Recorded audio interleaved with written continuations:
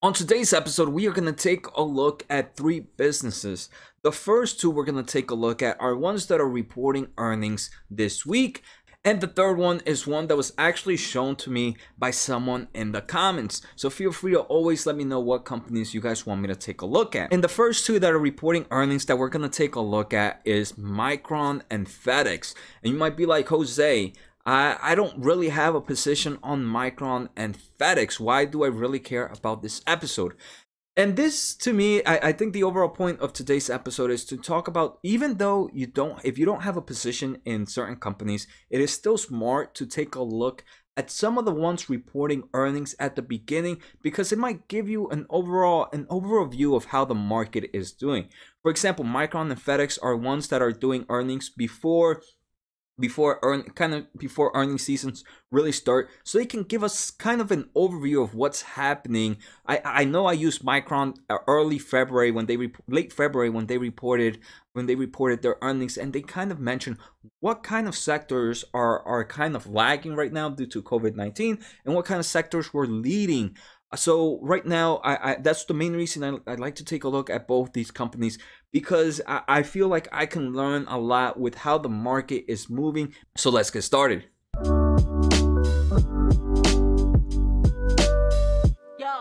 So like I said, the first one we are taking a look at is Micron Technology, and that's ticker MU for anybody listening to the podcast. Um, right now, I want to take a look at price performance for MU. And if you guys have, have been watching the channel, you guys know I like to take a look at February 20th when it's pretty much before the market started tanking. So before the market started tanking, Micron Technology was around $60. So even at, at, today's stock price, this company is down about 18%, and that's actually pretty crazy. Um, first, let me also discuss what Micron Technology is, and this is another one of those that is right in my alley. I am an electrical engineer, so this is a technology company that deals with form of computer memory and some form of data storage. So you might be like Jose, what do I what does any company really need computer memory or data storage? I'm not gonna go and out there and buy a computer. And um, this is computer memory, data storage is something that's used in every form of technology out there, from your phone, from your car, cloud companies so if you guys are, are really big into cloud companies the cloud servers these cloud servers aren't just things out in the air right they're actual cloud servers with with high powered computers running all this data and all that data needs needs memory. So that's where micron comes in. It's there's a few other companies that deal with micron that that are competitors to micron. Samsung memory i would consider one. Um, stx I, seagate i think one is another one that would be considered. But I do consider Micron one of the leaders in this market, and especially right now when we see a lot of a lot of clouding server companies like Microsoft, Facebook, Amazon expanding their overall servers. Um, companies like Micron Technologies are are the ones providing the pieces for those servers, and so that's why I really want to look at Micron Technologies earning.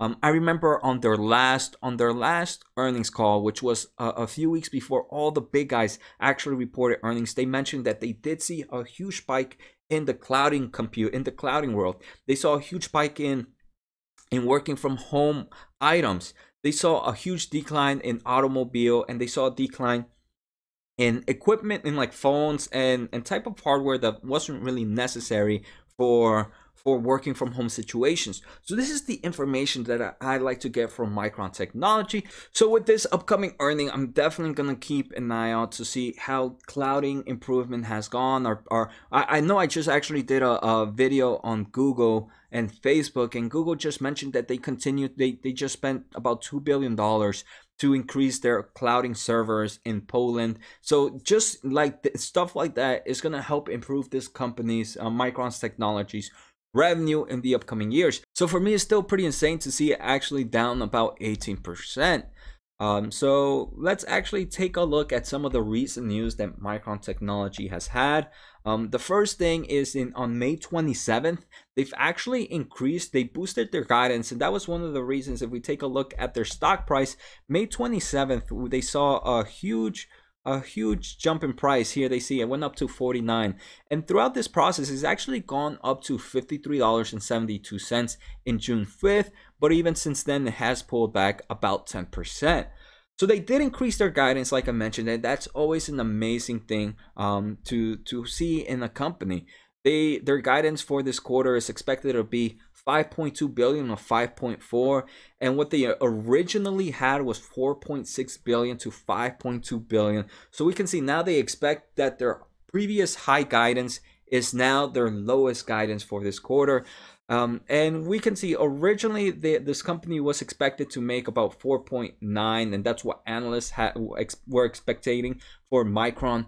But as time progresses and they, as more information gets gets available to to analysts, I think they did improve the the amount this company was expected to make to about 5.3 billion. Um, I don't actually have the number here, but Again, things are looking good. The only bad thing I want to say about Micron technology is let's say when all these server stuff stop slowing start slowing down.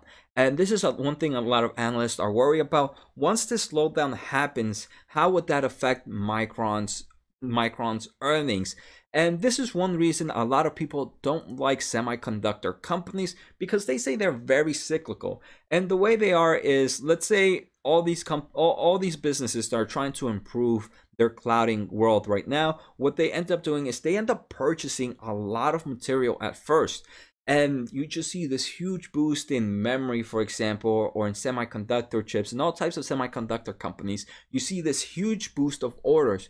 And eventually the the customers are like wait we ordered a little bit too much. So for the next year the next two years we're, we, are we are going to slow down our orders because we already have enough enough information and then what ends up happening is after those two years, the technology has changed dramatically.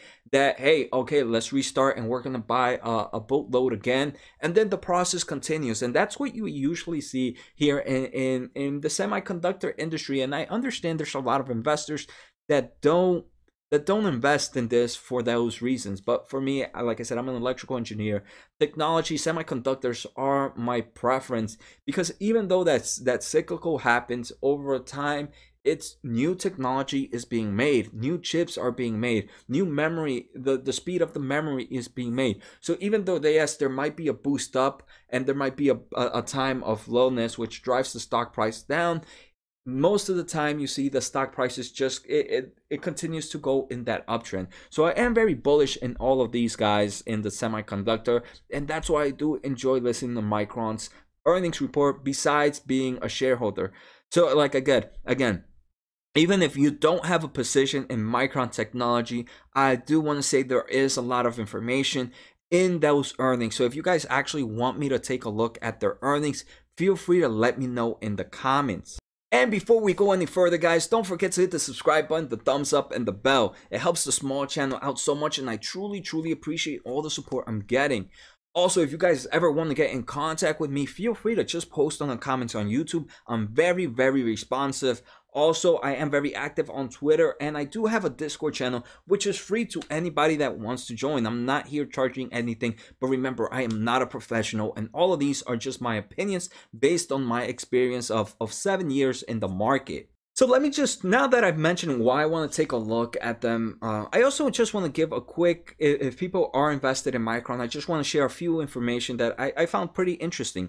So Micron just had an investor's presentation and there was a lot of cool information, but the one I thought was the most important was um, this ability of, of Micron and how they're improving how improving their overall competitiveness and their agility and quality of their products. For example, in fiscal year of 18, um, Micron creates pretty much three types of memories. They make DRAM, NAND, and SSD. So again, if, you're not tech, if you're not big into tech, that doesn't mean much. But let's just say they have three products. Oh, even though they are memory, they they do different things. So within these three products, in the fiscal year of 18, DRAM was only able to be created in China. NAND was only created and like worked on in Singapore and Malaysia, and SSDs were only done in Singapore. Now coming into fiscal year 20, they have increased the amount of places where they're working on their in on their items, right? So this increase increases testing, increasing increases productivity and just the overall quality of the product. For example, DRAM, which was only in China, is now in China, Malaysia, and Taiwan. NAND, which was only in Singapore and Malaysia, is now in Singapore, Malaysia, and Taiwan. And solid state drives, which were only in Singapore, are now in Singapore and Malaysia. And this to me is actually pretty impressive because it helps the company continue to develop, right? Once you have more places working on something, have more minds working, have more quality check, have more testing, it just overall improves the speed of things. And they actually show um, some of the some of the results from this they do see faster time to revenue, they have enhanced profitability, and they have now increased their balance sheets due to this. So, for example, back then, if a customer would require an item that goes to testing, right now with the new products compared to 2018 it has reduced the the amount of of, of product testing by 30% in just a matter of two years and obviously just by ha- being the first mover and having the ability to move your product into the market a lot quicker can be a really a big game changer for a business their balance sheet, Micron's Technologies balance sheet, is actually one of my favorite. It's not one of my favorites, but it's one I consider really good. And you can see how this company has changed throughout the years. In the in the fourth quarter of 2016, this company had about negative $5 billion in net cash. Now this company is sitting at over 2.7 billion dollars of net cash. So net cash is when you have your cash and you subtract it with this debt. So now this this business, now Micron Technology has more cash than it does debt, which is always a great thing. And they are investing in capex like we saw to improve their overall aspect of their business. The second company we're going to take a look at is FedEx. And FedEx, compared to February 20th, is also down like Micron Technology, is down about 21%. Again, now this is one that I actually understand why it would be down for some time, right? Especially with the COVID 19. it has probably put a damper in certain parts uh, of business. But actually, now that I think about e commerce, has actually been doing pretty big right now. All these e commerce companies have increased their sales, have increased revenue. The amount portion that they have collected compared to retail sales ha- has been dramatic, and it's been growth that has not been seen that they saw in a few months that they thought would have taken years to accomplish. So for me, with that type of e-commerce business coming in, I would have expected FedEx to actually also be doing a lot better. But I'm pretty sure there's other types of businesses, maybe uh, agriculture, um, that have seen a decrease. International sales probably has all international shipping has probably also seen a decrease right now with a lot of countries shut down still, or just limiting the amount of produce coming in from other countries. Uh, I would say that may have seen may have had a huge effect on FedEx. So that's another reason why I like taking a look at FedEx earnings, right? It helps us understand what type of movement is going on around the market. And they kind of actually break, you don't have to be super smart to take a look at their earnings. You just take a look at their presentations and see, hey, oh, okay, we're seeing an improvement in this type of market. And now you can think of that market with something related to your to, to some of your investments. So also, if you guys want me to do uh want me to take a look at their earnings, feel free to post on the comments and let me go. Jose, take a look at Micron earnings when they report on Monday. I'm pretty sure they report on Monday. Um, yeah, Micron is this morning after close, and FedEx is Tuesday after close. Wednesday and Thursday, we don't really see any companies that I, I I'm very I, I would I'm excited about. Um, maybe some people might want to see General Mills on Wednesday, but I don't really want to talk about cereal and food um, right now. And and again, if you are into FedEx, a few few recent uh, articles that have just re- been released for FedEx on June 3rd, FedEx does add a new delivery fee to ease the coronavirus strain. So right now, they are adding a surcharge to any customers who send more than 40,000 packages per week. So Amazon is probably one of those.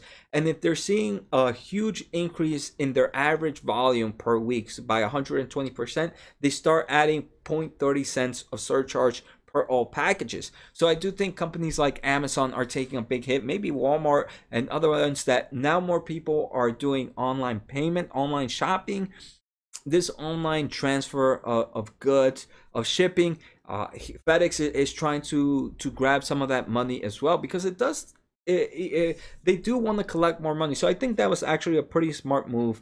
And FedEx is not the only one. UPS actually was the first one to do this, uh, and then they started. Uh, so they started this again. Both of them are doing it in one way. It's not exactly hundred percent the same way that UPS is doing it, but it's just one thing to mention of what what FedEx is doing. So yeah, FedEx is a company. FedEx is a business. I'm not too excited for their earnings just because it's it's not a market I am I am completely bullish on or one that I'm interested in. And again, just because I'm not interested in the market does not mean that this market is not one that will continue to do well. I'm just more selective in the type of companies I take a look at. But again, FedEx earnings is, is something that even though I don't have a position in, I am gonna take a listen to or at least read their, their presentation notes to try to understand where the overall market is at.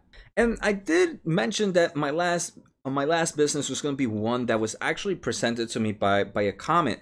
And this one actually mm-hmm. got my attention. There, there have been a lot that recently have gotten my attention, and I'm gonna take a video. I'll probably at the end of each video, probably just take a quick look at them and see if investors, if, if other investors want me to do a more in-depth in them.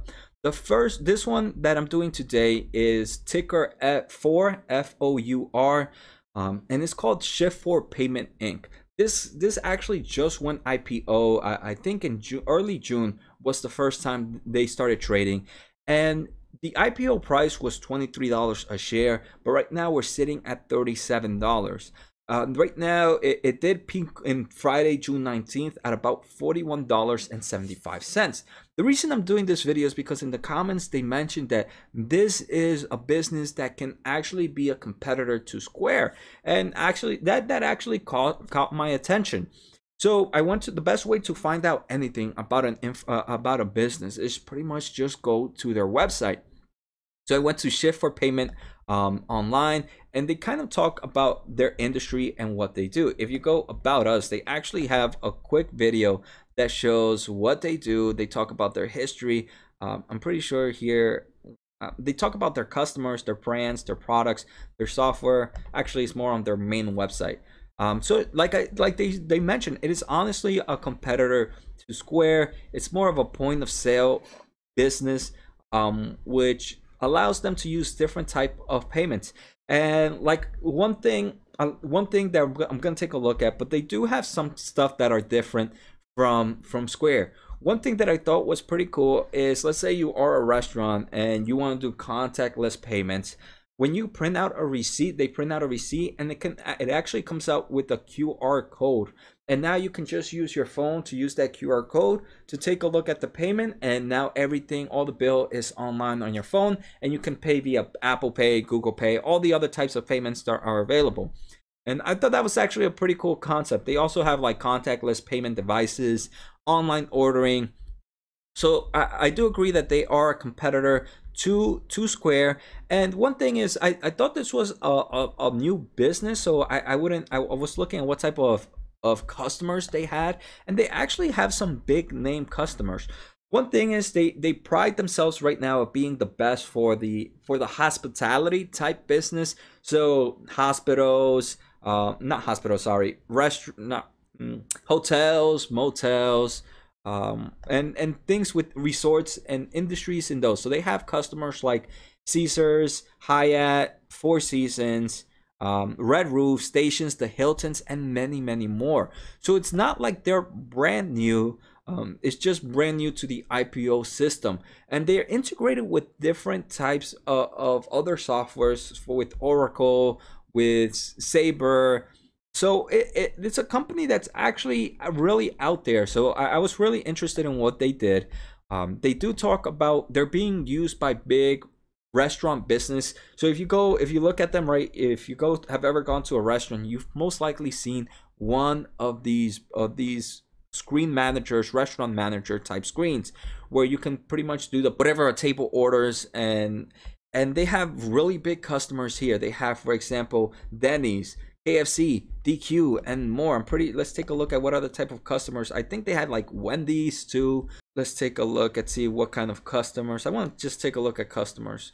again, this is one that you guys can can can go on their website and, and learn more about. Um, here they have, uh, let's see, I know they mentioned Outback Steakhouse, Bonefish, Uno, um, restaurant managers. They have Arby's, Auntie Anne's, Little Caesars, Baja Fresh. Mm, so you can see they are they're really big within this industry and i didn't know there were uh, obviously i mean i should have guessed there were other companies that did the same thing um, but they have thousands and thousands of customers, hundreds and thousands of customers. So they actually just went IPO. The reason, the the downside of them just going IPO means that there's not a lot of information really organized. So if you want, if for me taking a look at them, it, it, it's actually all over the place. Um, but again, if you guys want me to take a bit more look at them, feel free to let me know on the comments. One thing I did find pretty interesting is that their CEO is still their founder. And I am very bullish in businesses that are still being ran by the person who created it. And also if that person owns a huge stake in the business and they actually do they owned about 11% of four which again it's one of those bullish sentiments to know that the person still has skin in the game and right here Shift4 we can take a look at their most recent earnings they reported revenue of about 200 million dollars for the first quarter with a net loss of 5.2 million um, so they're still losing company, but we can see this is a growth company because same time last year they had a revenue of 155 million um, uh, a year ago. So that's a growth of I want to say about 20% revenue growth, maybe a little bit higher than 20% revenue growth. And also last year they lost about 13.5 million. This year they only lost 5.2 this quarter. So we're seeing an improvement in revenue growth, and we're also seeing an improvement in in their margins. So that's that's really good things to see. That's something bullish to see for for for. One thing that I did not like, I, I, don't really mind them not making money because as a growth company, this is something, if you guys have been watching my channel, that we see pretty often where the company is still growing rapidly. And even though they might not be profitable at the time, they are still, they're at least improving their margins. But if you guys, like I said, if you guys have been watching, I, I want a growth company to have a very, very strong balance sheet because they're not making money right now. So I want them to have enough cash and stuff to be actually able to survive. And I took a look at their total debt and the amount of debt that they have compared to cash is not something I, I was really happy to to see, um, to say the least. For example, I think they only had about seventy million dollars in cash, but they have about seven hundred and eight billion in total debt. And uh, again, they do say that this IPO that they just they, they just went through most of the money there is going to be used to pay down their total debt.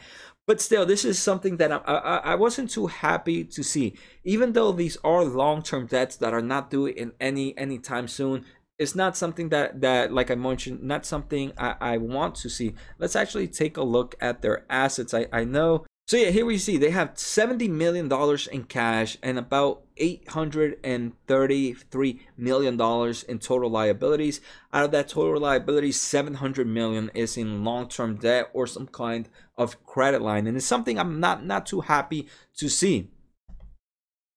Next, I just wanted to take a quick look at their valuation. Right now, the current price um, this company has a forward price to sales ratio of 3.7 and that's estimating that in 2021 they're expected to make about 414 million dollars in revenue. We're still seeing that huge growth in revenue for this business. And like i said this is a competitor to square. And one thing to know there's only one analyst right now reviewing this business. So there's not too many eyes on them. Square, on the other hand, has about 30 analysts, and the forward price to sales ratio for Square right now is 7.03. So obviously, if we just take a look at price to sales valuation, it does seem like four is a lot cheaper. It's probably it's it's about half the price of Square. But remember, when you're when you're looking at them, you're buying two different companies. Square has already um is already profitable at the time for 2020 they are expected to make money where 4 is not square has a way better balance sheet than 4 so it's just reasons to understand why a certain business is worth uh, is priced a lot more expensive than another one. So that's it for today's episode, guys. I hope you guys enjoy it. Let me know if you guys want me to take a look at any of them later on this week. Like I mentioned, Micron is doing earnings Monday, FedEx is doing it on Tuesday, and Four is just one that I want to take a quick overview. But if you want to learn more, feel free to let me know in the comments. It is a pretty interesting, a pretty interesting business and they do have strong market share especially in the in the hospitality type market. But at the same time i'm just not a huge fan of that of that balance sheet. And unfortunately for me the information out there is too unorganized that it, it would take me some time to actually really do a in-depth in them. So take care guys. Have a good night and see you next time